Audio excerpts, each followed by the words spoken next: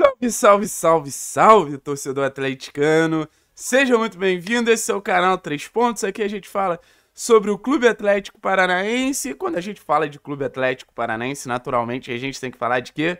De Copa Sul-Americana, uma competição tão importante na história do clube, uma competição tão relevante na história do clube.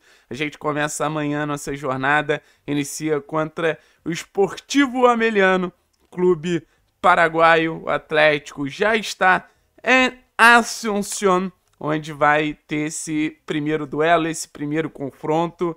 E muita gente está olhando para essa primeira fase mais acessível de Copa Sul-Americana, depois de um sorteio que, querendo ou não, beneficiou sim o Atlético, como uma oportunidade de rodar o elenco.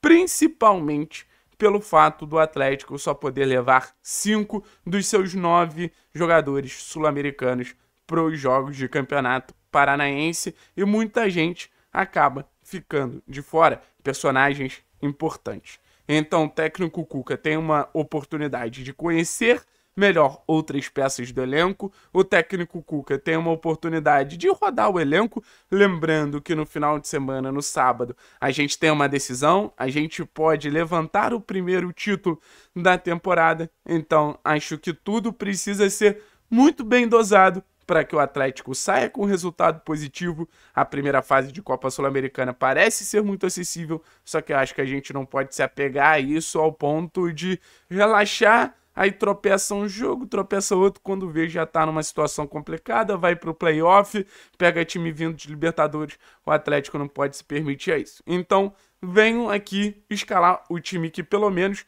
eu levaria a campo. E eu convido a vocês, no comentário, bota a escalação de vocês. Quero entender como vocês escalariam esse Atlético para enfrentar o Esportivo Ameliano.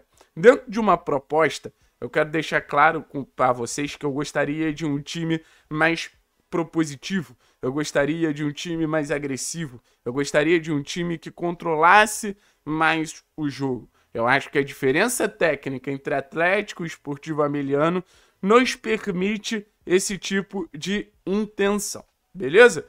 Então é o seguinte, vamos lá. No gol, não tem muito mistério. Vou botar até de azul aqui, o goleiro. Não tem muito mistério, mas eu não iria de Bento. Eu iria de Léo Link, cara. Porque assim, o Bento é titular do Atlético. Até segunda ordem, o Bento é esse cara que vai ficar a temporada toda. Vamos ver o que, vai acontecer. Mas eu gostaria de dar ao Léo Link essa primeira oportunidade de jogar um jogo internacional o Léo vem fazendo por onde, o Léo vem entregando tecnicamente para ser esse goleiro titular do Atlético a qualquer momento.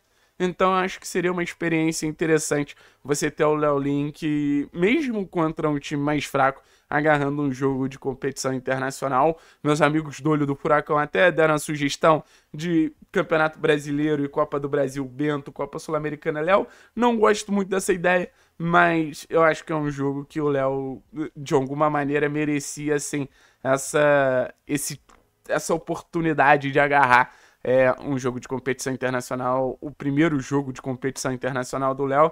Lembrando que o Bento começa a sua trajetória no jogo de Libertadores, né? Então, nada mais justo ali pro Léo Link. Lateral direita, Léo Godoy. Acho que o Léo Godoy é um cara com experiência em competição internacional. Acho o melhor jogador da posição. Não jogou no último jogo. Acho que ainda precisa se adaptar um pouquinho mais, ganhar um pouquinho mais de, é, de, de, de entrosamento com o restante da equipe. Além de ser, assim, um cara de boa chegada à frente, um cara seguro defensivamente, de bom passe. Tecnicamente muito completo ali o Léo Godoy. Aí na zaga, eu viria com uma zaga que talvez para mim seja a zaga. Não sei porque o Thiago Heleno tá crescendo legal de desempenho. Mas eu viria com o Kaique Rocha, que entra na reta final do último jogo, e com o Matheus Gamarra. Eu não acho um absurdo falar que essa é a zaga titular do, do Atlético, não, sabe? É, pelo que eu vi do Ameliano, é um time que cruza muita bola, então acho que a altura do Kaique Rocha pode ser importantíssima e a impulsão do Gamarra também fundamental. Acho que o Kaique vem fazendo início de temporada muito bom. O Thiago vem crescendo nesses últimos momentos, mas o Kaique acho que, que é mais regular ao longo de 2024. E o Gamarra talvez seja essa grande história desse jogo, né? Um jogador que vinha sendo nosso principal nome é, ao longo dos primeiros jogos de 2024, acaba indo para o banco a chegada do Cuca por uma questão muito mais de regulamento do que uma questão técnica. Em nenhum momento o Gamarra deu motivo para virar reserva e agora não tem nenhuma nenhuma brecha no regulamento que impeça a escalação do Gamarra. Então, acho que assume essa posição e daqui para frente na temporada, Campeonato Brasileiro, é, Copa Sul-Americana e Copa do Brasil, acho que a tendência é a manutenção do Gamarra nesse time titular. Pode ser que em algum momento o Thiago até tenha uma sequência, mas assim, vejo o Matheus Gamarra com, com possibilidades de, de, de estar numa posição ali de não só de titular, mas de destaque dessa zaga do Atlético, até com certa tranquilidade. Eu vou botar o camisa 5 aqui porque tá na ordem da numeração, mas vou botar o camisa 6 aqui. Camisa 6 sem muito mistério, Lucas Esquivel.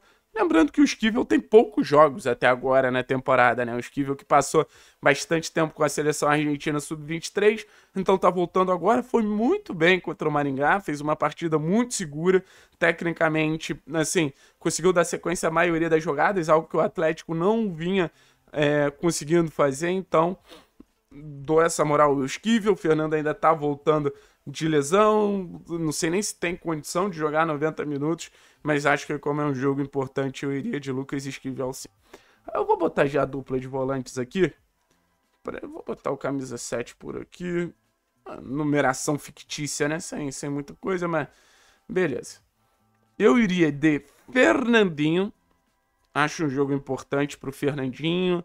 Assim, um cara maduro, por um momento falar sensível, mas para um momento que o Atlético tem que ter, ter boa coordenação ali na temporada e tudo mais. Então acho que o Fernandinho ele, ele, ele é uma peça importante nesse cenário. Acho que o Fernandinho nos ajuda a ditar ritmo do jogo contra um, um time que acredito que vem num bloco baixo para oferecer transição. O Fernandinho girando o jogo para cá e girando o jogo para lá controla bem as transições. Então pensaria no Fernandinho. E ao lado do Fernandinho, ah, Thiago, obviamente você vai de Eric. Não, você vai de Alex Santana também não. Foi de Filipinho, cara. Filipinho é algo meio gamarra, assim, né? Em nenhum momento deu muito motivo para sair do time titular.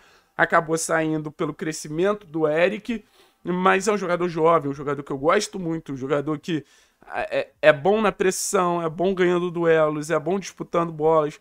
Eu acho que o Cuca vê ele mais como segundo volante do que como primeiro, por isso que não começou o último jogo, começou o Gumoura, mas eu daria essa oportunidade ao Filipinho jogar ao lado do Fernandinho. Acho que se complementam. Filipinho é um jogador muito móvel também para fazer essas coberturas defensivas ali em relação ao, ao Fernandinho, então vejo o Filipinho ali como uma peça Vejo ali o Filipinho como uma peça interessante de você ter num jogo como esse. Agora, pensando em quarteto ofensivo, já vou posicionar aqui direitinho pra gente ter um pra gente ter as peças já bem a gente ter as peças bem posicionadas aqui. Um, um, um atacante bem aberto pela esquerda, dois meias aqui e um centroavante. Os dois meias para mim é sem invenção, tá? Eu iria de Christian e Zapelli. Como eu falei, eu quero ter um jogo mais controlado. Então é importante você ter esse trio aqui, Zapelli, Christian e Fernandinho. São jogadores hum, tecnicamente com mais capacidade de, de, de comandar esse meio campo. São jogadores que eu concordo que não vêm num grande momento. E acho que esse jogo contra o Esportivo Ameliano pode ser até importante para recuperar a moral do Zapelli, para recuperar a moral do Christian. O Zapelli, vocês sabem que é um jogador que eu tenho muita expectativa de ser não só um jogador diferente no jogo contra o Esportivo Ameliano, acho que o Zapelli tem condição de ser um jogador diferente ao longo de toda a competição, de ser um diferencial para o Atlético ao longo de toda a competição. Para mim, um dos melhores camisas 10 que a gente tem na Copa Sul-Americana. A gente tem outros muito bons, é, Matheus Pereira, Alan Patrick no futebol brasileiro, o próprio Rodrigo Garro. Fora, a gente tem o Bogarim do é, do Defesa e Justiça jogando muito bem, alguns bons meio-campistas ali, Rec Fernandes, Medina no Boca, mas acho o Zapelli como esse enganche, como esse camisa 10, um dos melhores da competição, um jogador que é, vem buscando esse equilíbrio entre decidir e influenciar, né? Ou tocar mais na bola, ou baixa para pegar mais essa bola no pé dos volantes, acelerar o jogo, ou tá mais pisando na área para marcar gols, para decidir a favor do Atlético mesmo. Mas sinto que o Zapelli ele, ele, ele tá se incorporando na temporada, um jogador muito importante para o Atlético, então gostaria de ver esse jogo. Imagina, mais um golzinho do Zapelli aí contra o Esportivo Ameliano. Vai ganhando moral com a torcida, vai ganhando confiança para o restante da temporada, uma temporada que a gente conta muito com o Zapelli. O Christian nem vem tão bem nos últimos jogos, mas é, até escrevi errado aqui, Crisitan, né? Crisitan. Christian é um jogador que vem mais competindo do que criando, né? Mais disputando do que criando mas ainda acho que é, um, é o melhor ajudante possível ali pro Zapelli.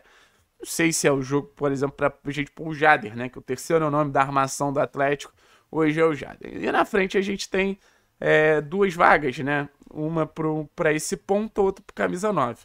Pro camisa 9 eu já adianto, queria de mais três. Isso é muito mistério. Entrou no final no último jogo. Para mim é, é o titular, é o cara decisivo artilheiro da última Copa Sul-Americana, o Maestriani vem de uma história muito legal também com a competição, então também sem muito mistério. E na ponta, gostaria de ver Romeu Benítez, o Benítez, vou botar só Benítez aqui, é, que eu acho que é o jogador mais habilidoso, que eu acho que é o jogador de mais soluções, mais capacidade técnica, mais capacidade de associar, mais capacidade de gerar perigo. Então, junto a Zapelli e Christian, acho que a gente tem um, um trio muito talentoso ali atrás do Maestriani, jogadores jovens, jogadores que podem interagir, levar perigo ao adversário. Então, acho que o Benítez está merecendo essa oportunidade, acho que o Canóbio não está fazendo por onde, então seria é, essa minha equipe titular, rapaziada. Acho que é uma equipe com total condição de ganhar do. De ganhar do. Do Esportivo Emiliano. Desculpa, deu uma travada. Com total condição de ganhar do. Do, do Maringá também, então sinto que o Atlético tem nessa equipe muita força. Aí você tem Eric no banco, você teria Pablo no banco, você teria Canóbio no banco, você teria Coelho no banco, você teria Fernando no banco, você teria Madison no banco, você teria opções interessantes para a segunda etapa. Valeu, pessoal. Tamo junto, é nóis. Espero que tenham gostado da escalação. Deixa um like, apostem na KTO e vambora! É nóis!